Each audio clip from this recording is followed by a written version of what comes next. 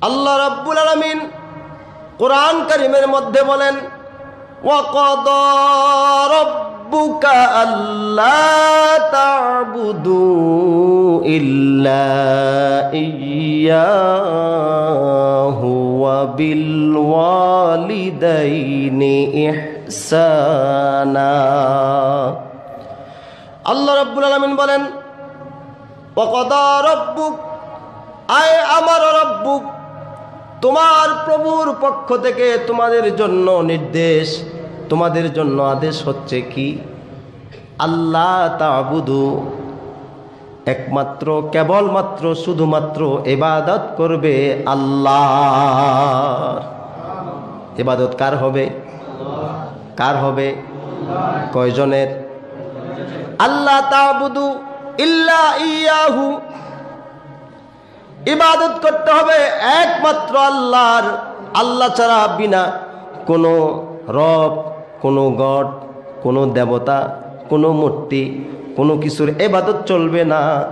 একমাত্র এবাদত করতে হবে আমার আল্লাহর এই ঘোষণাকার জুড়ে বলেন, এই ঘোষণাকার তারপর আল্লাহ বলেন, ওয়াবিল ওয়ালিদাইনি ইহসানা।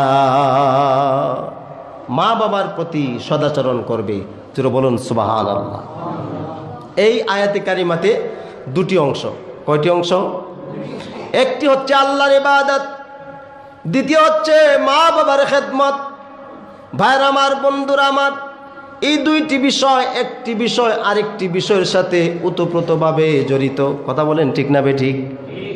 আপনি যদি জন্মের পর থেকে মৃত্যুকাল পর্যন্ত ইবাদত করতে করতে করতে করতে পাহাড় পরিমাণ ইবাদত আপনার হয়ে যায়, আপনি যদি এমন বান্দা হয়ে যান যে আপনি মসজিদে নববীর ইমাম হয়ে গেছেন, বাইতুল্লাহর ইমাম হয়ে গেছেন, এমন ইবাদত গুজার বান্দাও যদি আপনি হন, কিন্তু আপনার আমল নামায় যদি মা বাবার খেদমতের একটু ত্রুটি হয়, তাহলেও কিন্তু আপনি গোলাম জান্নাতে যেতে পারবেন? সম্ভব? এজন্য দুইটি বিষয়, একটি সেটা আরেকটি ওতপ্রোতভাবে জড়িত।